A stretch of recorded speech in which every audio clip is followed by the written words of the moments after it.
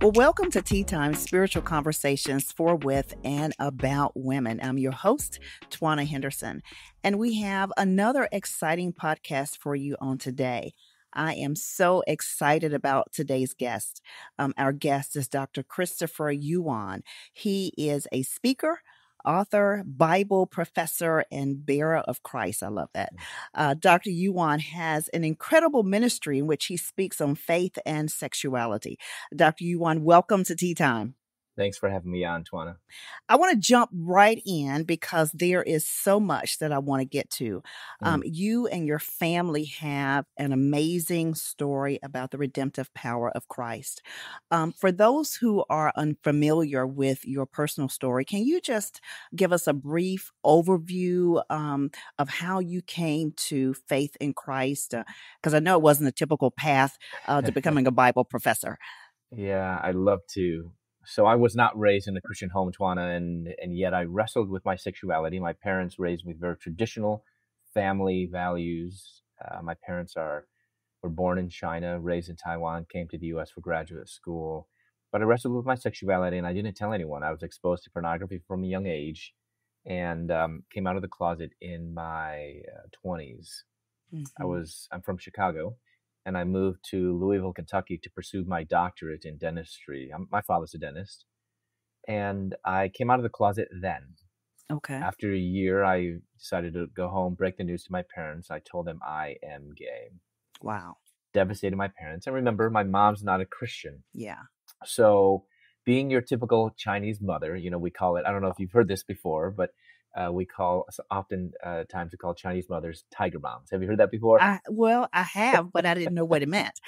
yeah, tiger moms meant uh, just mothers who are very protective over their children, want their best for the children, all great things.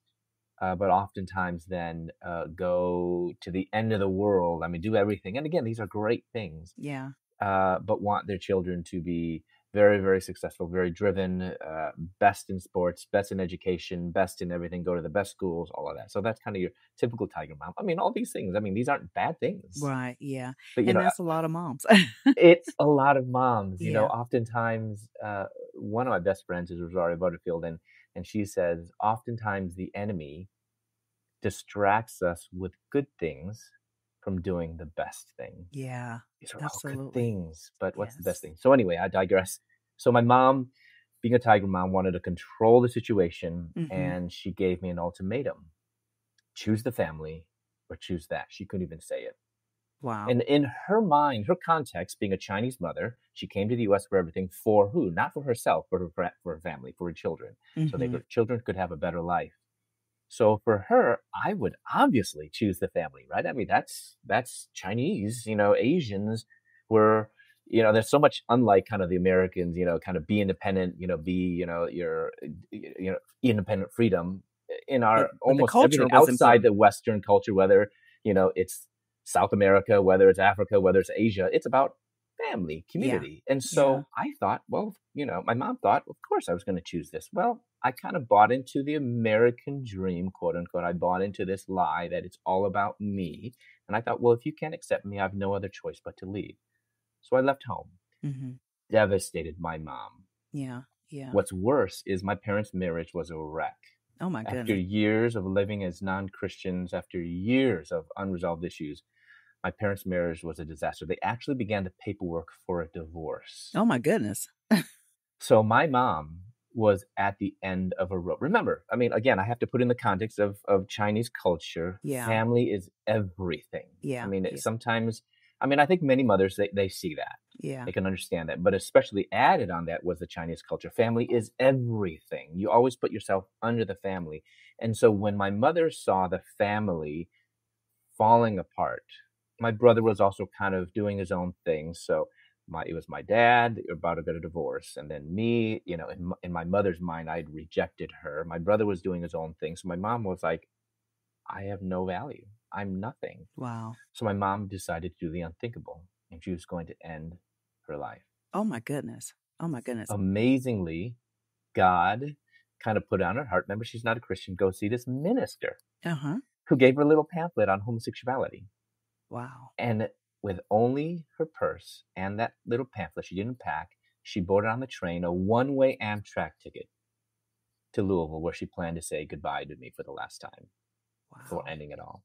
Oh my goodness. So on the train, she decided to read this little pamphlet, this mm-hmm. little booklet, which shared with her the gospel that all of us are sinners. And yet, in spite of our sin, the God of the universe still loves us. Absolutely. And now, on this train, yeah, go ahead. Now, let me ask you now, I know in your first book, um, Out of a Far Country, um, which you actually co authored with your mother, Angela, yes. um, you, you came out to your mom. Both of you are not believers in Christ. Right. Um, you know, her initial response was the rejection. Um, and it wasn't until she really became yes. a christian and realized that she was a sinner that she was able to to love you as god loves all of us sinners. Exactly. T- tell us more about that. Yeah you know what's so amazing Tawana you know we hear the the narrative today whether on the news whether from hollywood i mean the, the movies uh, what was the most recent movie? Uh, boy erased you mm-hmm. know with the three stars were either oscar winners or oscar nominated Mm-hmm. So that's a big time movie. And this whole movie was about this message that if you are a devout, evangelical, Bible believing Christian, you cannot love your gay child. You have to actually shed off that conservative Bible teaching, as the mother in the story ended up doing in mm-hmm. Boy Erased. She left her faith the father remained. So the father couldn't love the son, according to this story, but the mother could because she basically became not a Christian or changed her changed the Bible. and so that's the story that you, you cannot love your gay child as a Bible believing conservative Christian, and you have to actually shed that to love your gay child. Well, I had the exact opposite experience. My parents were not Christian, they rejected me. It was only until they became followers of Christ, not people who just go to church, mm-hmm. not people who just say I'm a Christian only on Sundays and there's no evidence in their life for the rest of the week, until yeah. they became followers of Jesus Christ, that they knew that they could do nothing other than to love their gay child. We don't reject our sinful children. Mm-hmm. We love them yeah. as God loved them. And you know how God loved them and God loves us, Romans yeah. chapter 5. Yeah. While we were weak, while we were powerless, while we were still sinners, that word still is so important, mm-hmm. and while we were his enemies. Yeah. So, yeah. so my parents did that, and uh, they were tried to reach out to me. I was in Louisville, and just my, you know, so my mom became a Christian. I thought she had lost her mind. um, she, I, I kept doing what I, you know, it, while I was in Louisville, I started partying like my friends. I started going to the clubs, started experimenting with drugs, started selling drugs. And not all gays and lesbians do drugs. There's a kind of myth that, oh, you're gay and you do drugs. No, that's not true. Some do, some do not. But mm. unfortunately, that is part of my story. I'm not telling everyone's story. I'm just telling my story. And yeah. I have to be honest about that. Yes. But um, I was started selling drugs, doing drugs. Eventually, I was expelled from dental school. Oh, my goodness. So then I moved to, and, and this is also important. I was expelled my parents flew from Chicago to Louisville. In in my mind, I thought they were going to fight for me, fight against the school that for them to keep me in school. And you know what my mother did? She prayed and fasted about this. She told the school, it's not important that Christopher becomes a dentist. What's more important is that Christopher becomes a Christ follower. Wow. See, a lot of times parents, especially mothers, they want to protect their children. I mean, that seems right. We want to protect our children, but what we end up doing is we're protecting them from God. Yeah.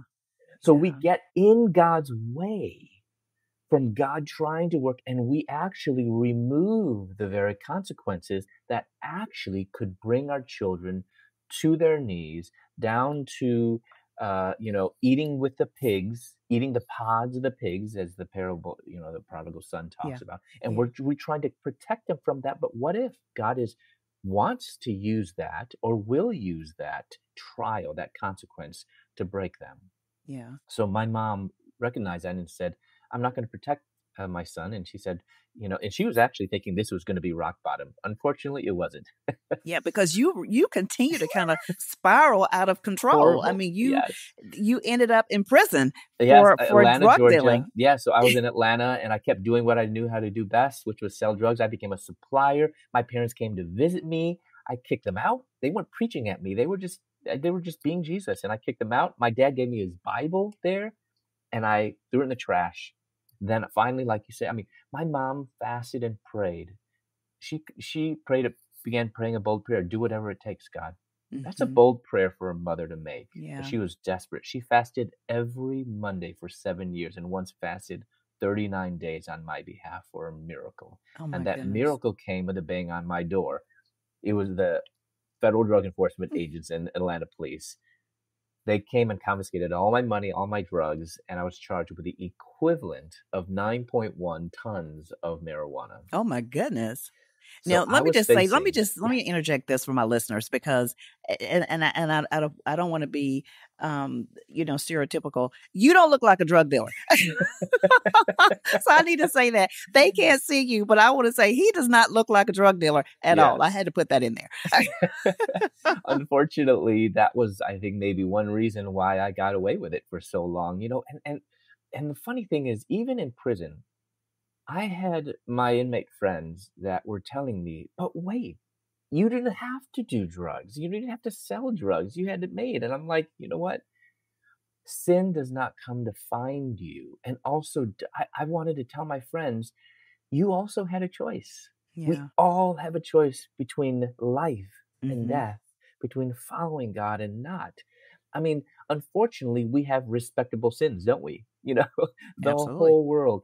But unfortunately, God, uh, or I mean, the enemy used this, what I looked like, to get away from it for so long. But you can't run from God. Yeah. You can't run from God. And, uh, you know, so I was finally in jail. And, and the funny thing is, we fool ourselves into thinking I'll never get caught. I was in jail and um, I uh, called all my friends, thinking, you know, well, these are friends. I say, whenever you need something, give me a call. So I thought, well, I'll call them. no one answered my phone call. And what I didn't realize was years before that, my mom knew that as long as I had those type of friends around, you know, those type of friends, oh, you know, you know, just uh, that get me more into trouble than anything else. Yeah. My mom specifically prayed that God would do whatever it takes uh, that um, you know that those friends would desert me, Yeah. and they deserted me. Not one answer, friend answered my collect call. So I called home, dreading making that phone call, just thinking the earful that I was going to get. My mother's first words, "Are you okay?" Wow. No condemnation, just words of unconditional love and grace. Yeah. A couple days after that, I was walking around that cell block, found a Bible in the trash can. In the trash can. Yes, it was a new, Gideon's New Testament. Took it back to my cell, began reading it, and at first it wasn't good news. I'm like, this isn't good news, because I'm like, this is condemning me of my sin. Mm-hmm. But I kept reading, I kept reading, and uh, you know, I, things got worse. I was called to the nurse's office, and the nurse told me that I'm HIV positive. Oh my goodness. A few days after that, I was laying in my cell block all by myself. There was no one else in, in my cell at that time. And I looked up at the metal bunk above me, and someone had scribbled, If you're bored, read Jeremiah 29 11. For I know the plans that I have for you, declares the Lord plans to prosper, Prosper you and not to you, Yeah. plans to give you a hope and a future. I mean, any verse could have been on there. yeah. But God uses that specific verse. I mean, in reading the context, how God is going to call them out of exile. Well, I was in exile in Yeah. prison, and God was telling Israel that I'm going to call you out of Israel, even though they were rebellious. Yeah. And I was rebellious, and I knew if God can have a plan for rebellious Israel, He could have planned had a plan for me. I didn't know what that meant, but I knew that God was going to continue to call me, and so I began reading the Bible, and that was when I realized, you know, that God was not calling me out of homosexuality. He was first calling me, first and foremost, to Himself. That God was Mm. not, and I had put my identity in the wrong thing. That I'd put my identity in being gay when I knew I needed to put my identity in Christ. So, and that was kind of the bulk of my new book on holy sexuality and the gospel. But anyway, God called me at this whole thing. God uh, was teaching me, in, and He called me to ministry. I went to Moody right out of out of prison, and uh, then went on to my master's and doctorate. So let me let's back up for a minute because that's yeah. a lot. Because in terms of God calling you, uh, in terms of your identity, talk about that because it's so important to begin with identity, which is who we are. And and like you said in your book, um, Holy Sexuality and the Gospel, um, you identify with an important theological term, uh, theological anthropology. That's a big yes, word. Um, big um, word. um, can you unpack that for uh, us and, definitely. and talk about what that means and why the whole idea of identity is so important? Yes, we cannot understand human sexuality unless we begin with theological anthropology. That sounds like a really uh, hard to understand phrase, sentence, but actually it isn't. Human sexuality, we all understand that. And if it's human sexuality, not animal sexuality, not, you know, whatever, cow sexuality, you know, we're talking about human sexuality. So to understand sexuality, human sexuality, we need to understand humans. Well, humans through what lens? Through God's God's lens, through the word of God. Mm-hmm. So theological anthropology, anthropology is a study of humanity. Mm-hmm. Theological anthropology is study of humanity through God's eyes. So that's basically what that means. And what does theological if, how can I distill theological anthropology, you know, maybe in just two two main points. Two main points would be first, every human being is created in the image of God. We call that the imago Dei. That's mm-hmm. Latin for image of God. Second, that we can't just end there. Sometimes people just they only you know fixate on that and nothing else. There's that other very important concept which comes from genesis 3 which is the fall. Every human being has been impacted by or are living because of the consequences of the fall. Paul talks about it many times in his epistles by using the word flesh. Sometimes it's translated as sinful nature. Mm-hmm. so understanding sexuality in light of being created in the image of god and with the fact that we all have a sin nature is very important. So when we talk about what is my identity, well, my identity is I'm created in God's image. And if I'm a Christian, I'm a child of God. But unfortunately, we all are wrestling with the consequences of the fall. We are wrestling, we are fighting against our sin nature. That really is the framework. We need to start there and then build on that. And then when it comes to identity, the why this is so important with sexuality is because I don't know of any other behavior or been any other desire that we have turned into personhood. For example, when you ask someone who identifies as gay, what do you mean by that? You know, not to be kind of to be feisty with them or to be mm-hmm. argumentative. Just just say, I know what that means, but I want to hear your words. I want to hear what you explain. Twanna, you will not hear them say, when I say I'm gay, I mean this is what I feel.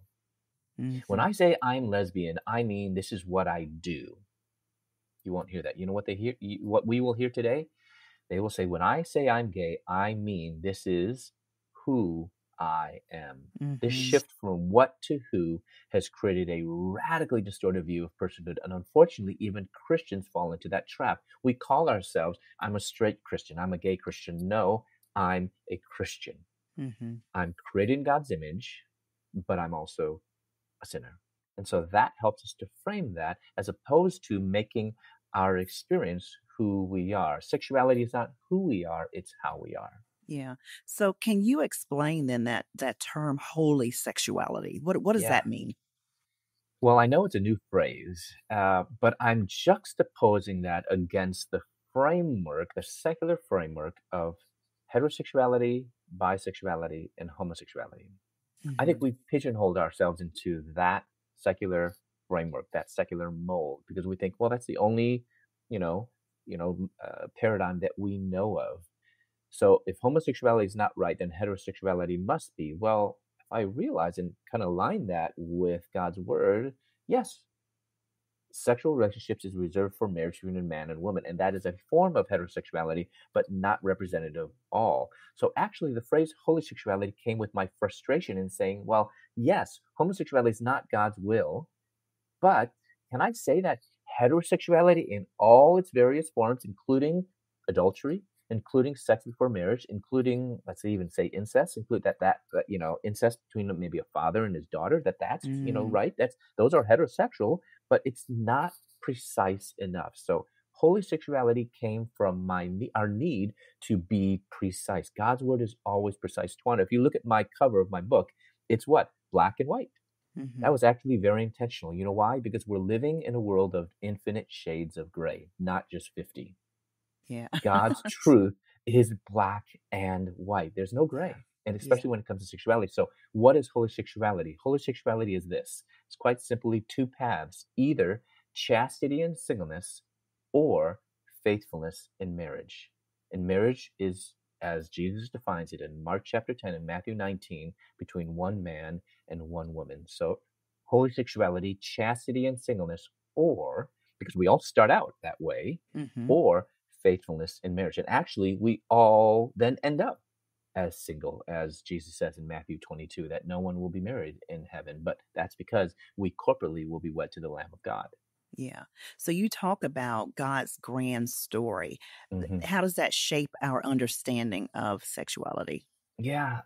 So the reason why I wrote Holy Sexuality was I did, first of all, no author wants to just add another book of something that's already been said. There's been mm-hmm. a lot of good books going over the different biblical passages that touch on uh, homosexuality and the prohibition against homosexual behavior and desires. Mm-hmm. But what I found was that there was no overarching book addressing it theologically. So it wasn't until while I was at in Bible college that I recognized the difference between biblical studies and theological studies. Biblical studies looks at specific passages, uh, look at verses, look at books, whereas theology looks at one particular topic or theme and see how the whole of Scripture communicates about that. So that's different. Mm-hmm. And we didn't mm-hmm. have any books talking about a theology of sexuality. And that was my desire to do that.